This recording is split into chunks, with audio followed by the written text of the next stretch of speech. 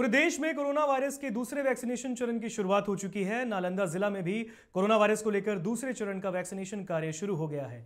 ज़िले के बिहार शरीफ सदर अस्पताल में जिलाधिकारी सहित ज़िले के वरीय पदाधिकारियों को कोरोना वैक्सीन दी गई। इस मौके पर जिला पदाधिकारी योगेंद्र सिंह ने कहा कि कोरोना संक्रमण को लेकर टीकाकरण अभियान पूरी तरह सफल रहा।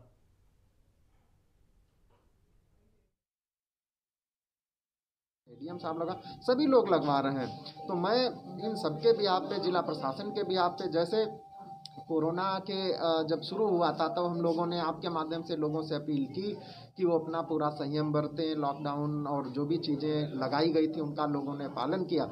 उसी तरीके से हम फिर अपील करते हैं लोगों से कि वो आगे बढ़ चढ़ करके इसमें जब उनको दिया जाता वहीं शेखपुरा में भी दूसरे चरण का वैक्सीनेशन शुरू हो गया है। स्वास्थ्य विभाग के कर्मियों के टीकाकरण के बाद अब फ्रंटलाइन वॉरियर्स वैक्सीनेशन की शुरुआत की गई है। आपको बता दें कि शेखपुरा सदर अस्पताल में फ्रंटलाइन वॉरियर्स के तहत सबसे पहले एसपी कार्तिकेय शर्मा को कोरोना वैक्सीन दी गई।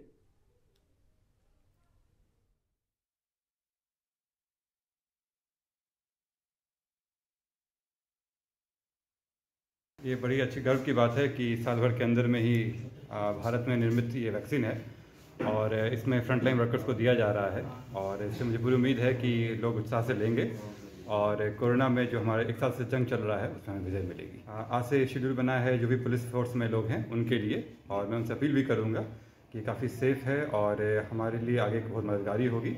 तो मैं आपसे अपील करूँगा वहीं मोतिहारी में भी कोरोना वैक्सीनेशन की दूसरे चरण की शुरुआत हुई है। मोतिहारी में जिलाधिकारी शीर्षद कपिल अशोक और एसपी नवीन चंद्र झा ने कोरोना का टीका लगवाया। इसी कड़ी में ज़िले भर में 4000 से ज़्यादा पुलिसकर्मी टीका लगवाएँगे। वहीं टीका लगवाने के बाद जिलाधिकारी ने आग्रह करते हुए कहा कि हम सबको आगे बढ़कर टीका लगवाना चाहिए।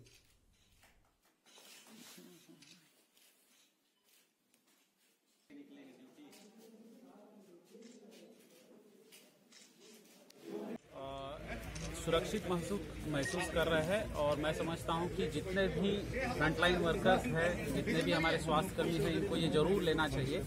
आज फ्रंटलाइन वर्कर्स जिसमें पुलिस विभाग के पदाधिकारी, होमगार्ड के पदाधिकारी, जेल के पदाधिकारी पैरामिलिट्री फोर्सेज ज़िले के जो है। सभी पुलिस कर्मियों को टीकाकरण का आज से प्रारंभ हुआ है पुलिस केंद्र में और हमने और डीएम साहब ने बिहार के कई जिलों में कोरोना वैक्सीनेशन के दूसरे चरण की शुरुआत हुई है और इसी कड़ी में भी मुजफ्फरपुर में भी दूसरे चरण का वैक्सीनेशन शुरू हो गया है, जहाँ फ्रंटलाइन वर्कर के बाद अब दूसरे चरण में बिहार के राजस्व विभाग के साथ साथ गृह विभाग, नगर निगम के कर्मियों के साथ ही अधिकारी ने भी टीका लेकर इसकी शुरुआत की।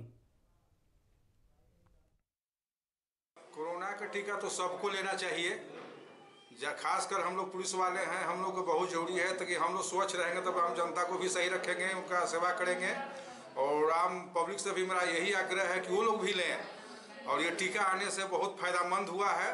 अभी जो हम लगवाए हैं टीका, उससे मुझे बहुत अच्छा महसूस हो रहा है। किसी प्रकार का कोई परेशानी मुझे नहीं है।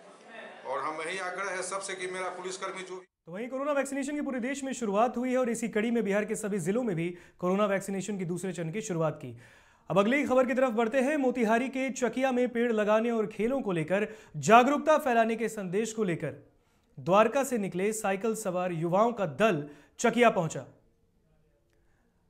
आपको बता दें कि साइकिल यात्रा दल के सदस्यों ने एनएच स्थित बंझूला चौक पर मीडिया से बातचीत के दौरान अपनी यात्रा और उद्देश्यों पर बात की। साइकिल यात्रा दल के सदस्यों ने बताया कि उनकी यात्रा द्वारका से शुरू हुई है जो अरुणाचल प्रदेश के ईटानगर में 3,900 किलोमीटर का सफ़र तय कर 13 फरवरी को खत्म होगी।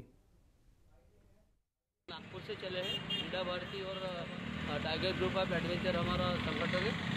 और द्वारका से 19 जनवरी को निकले थे। और ईटानगर हम तेरह फरवरी को पहुँचेंगे।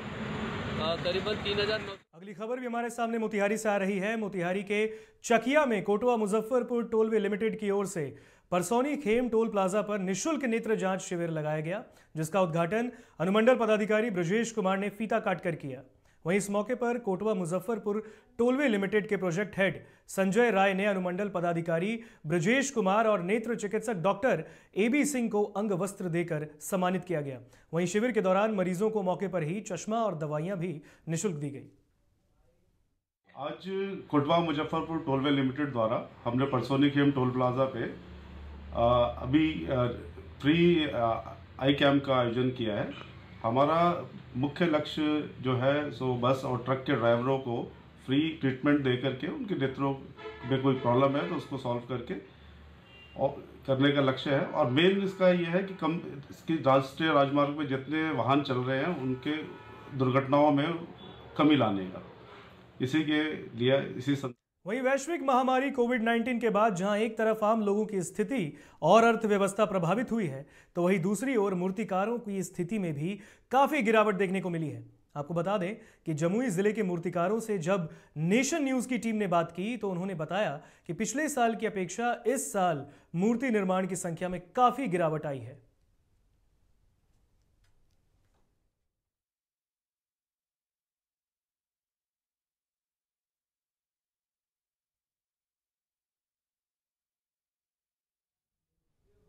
फ़िलहाल बुलेटिन में बस इतना ही। हमें दीजिए इजाज़त। बने रहिए नेशन न्यूज़ के साथ। धन्यवाद।